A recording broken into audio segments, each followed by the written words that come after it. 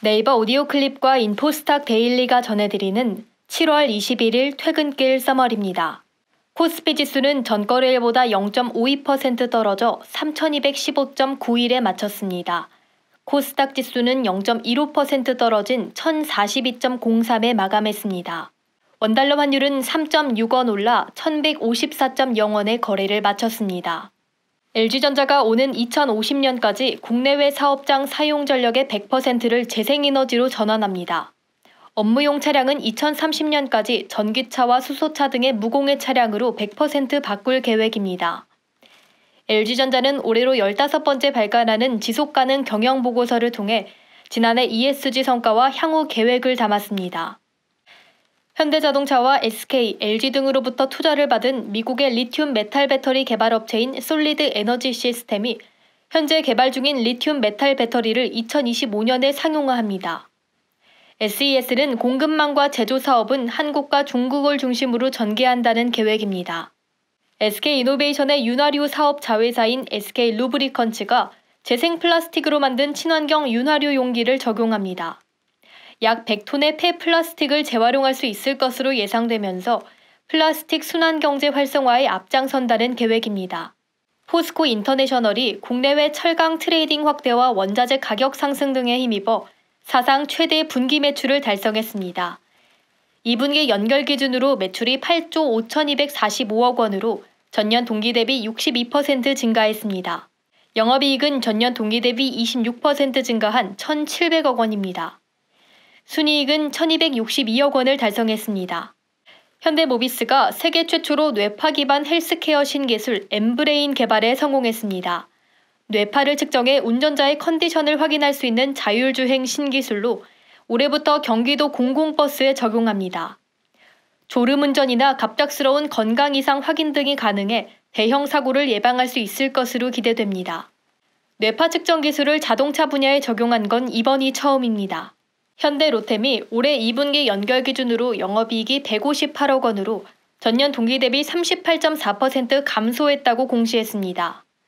같은 기간 매출은 7,107억 4,200만 원으로 전년보다 8.2% 증가했습니다. 순이익은 143억 2,900만 원으로 41.4% 줄었습니다. 현대중공업그룹의 조선 부문 지주사인 한국조선해양이 올 2분기 9천억 원에 달하는 대규모 적자를 기록했습니다. 이따른 수주량 증가와 선가 상승에도 불구하고 후판 가격 상승에 따른 비용이 증가한 데 따른 겁니다. 해양 부문은 매출 감소에 따른 고정비 부담 증가, 플랜트 부문은 코로나19 등으로 인한 공정 지연의 영향으로 적자 폭이 커졌습니다. HMM이 올해 상반기 투입된 1만 6천 TEU급 컨테이너선 8척이 모두 만선으로 출항했다고 밝혔습니다.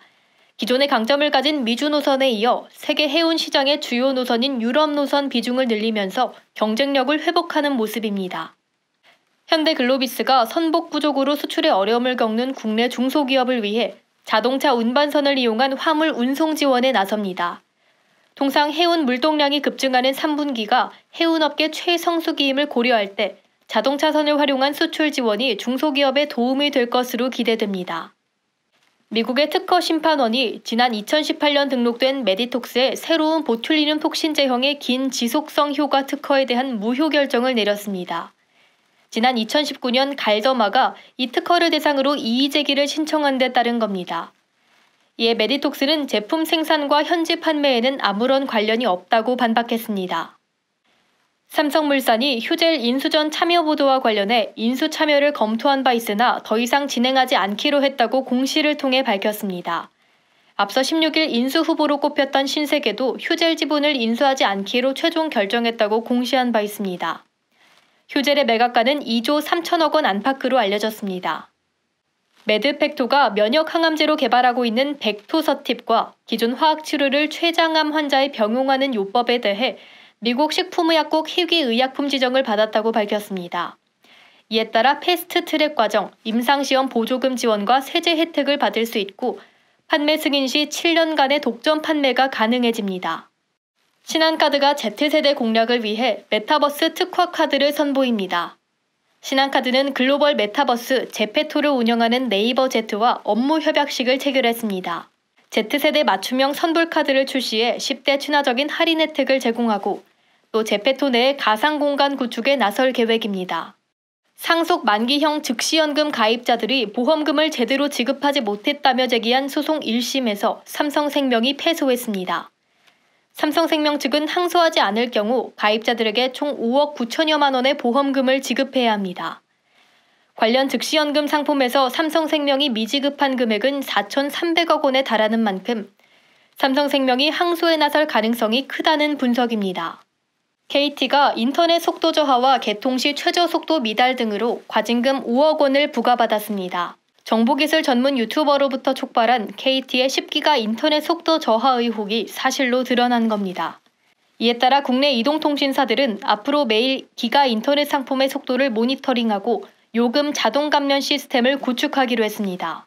네이버 스타트업 양성 조직인 D2SF가 메타버스 기술 스타트업 두 곳에 신규 투자를 단행했습니다. 3D 콘텐츠 제작 솔루션을 만드는 버추얼 플로우와 가상현실 기술 업체인 픽셀리티 게임즈입니다. 공정거래위원회가 쿠팡의 이용약관상 불공정한 부분을 손봤습니다. 같은 상품을 판매하면서 가장 좋은 가격 조건을 제시한 판매자에게 사실상 모든 매출을 가져갈 기회를 제공해 수차례 논란이 있었던 쿠팡의 아이템 위너 제도가 바뀌게 됩니다. 또 플랫폼에서 발생하는 분쟁과 관련된 쿠팡의 법률상 책임을 면제한 조항을 시정해 규책 범위에 합당한 책임을 지도록 했습니다. 대한항공이 네이버와 함께 마일리지 제휴를 시작합니다. 대한항공 스카이패스 600 마일리지로 네이버 플러스 멤버십을 1개월간 이용할 수 있습니다. 델타 변이 확산으로 해외여행이 여전히 불투명한 만큼 마일리지 사용기간 연장을 넘어 아예 활용도를 높이겠다는 취지입니다. 양사는 향후 네이버페이 포인트를 대한항공 스카이패스 마일리지로 전환하는 등의 협력 방안도 논의하고 있습니다. 하이트진로의 올해 상반기 대태국 소주 수출액이 155만 달러로 작년 동기보다 약 3배가량 증가했습니다. 하이트진로는 소주 세계화를 선포한 2016년부터 4년간 연평균 30%씩 꾸준히 성장했다고 밝혔습니다. 올해엔 태국 최대 편의점 체인인 세븐일레븐 5천여 개 점포에도 입점했습니다. 일론 머스크 테슬라 최고 경영자가 테슬라 전용 고속 충전소인 슈퍼차저를 올해 말 다른 전기차에도 개방할 예정이라고 밝혔습니다.